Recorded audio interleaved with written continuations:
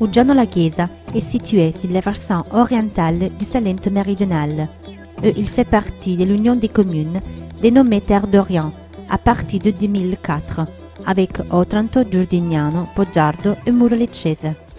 Au cours des dernières années, la communauté de Uggiano a soutenu plusieurs initiatives au niveau national et international en matière de coopération entre les peuples de la Méditerranée.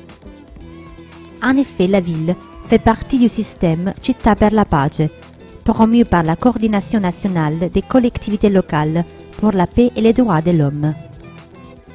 Dans le territoire de Giano, l'activité touristique s'est consolidée avec un grand professionnalisme. Une réalité particulièrement animée par le travail de nombreuses structures d'accueil familial et d'activités agrotouristiques qui visent à la valorisation de la biodiversité et des produits typiques. Récemment, différentes fermes ont été transformées en structures touristiques, capables aujourd'hui de conjuguer la tradition avec l'innovation. La présence des visiteurs et vacanciers est justifiée par la beauté authentique du paysage de Uggiano Chiesa, un patrimoine caractérisé par la magnifique campagne qui s'étend autour de la ville.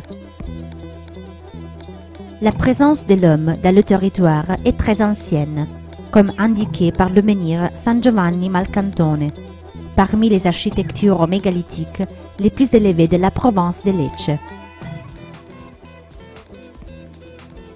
Le mégalithe est positionné près de l'homonyme ferme, abandonnée à l'époque médiévale, et le long du route pavée d'époque romaine, probablement autrefois reliée à la route Traiana-Calabra.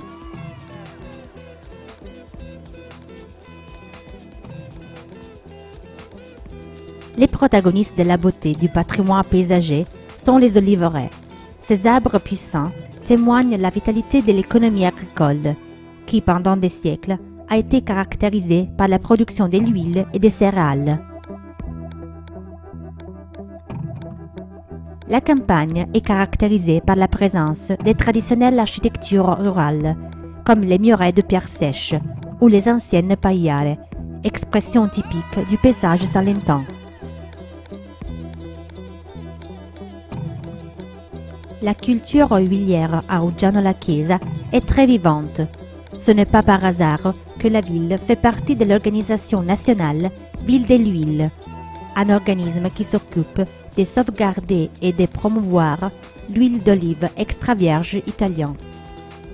L'expérience culinaire de la société agricole et pastorale se conjugue au patrimoine religieux qui se manifeste à Uggiano chaque printemps avec les tables de Saint-Joseph.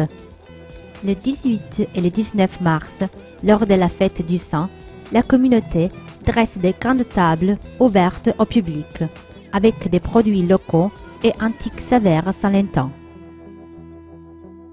L'histoire de la communauté de est pleine de charme et représente une synthèse millénaire des cultures européennes qui se sont succédées au cours des siècles dans le territoire salentan.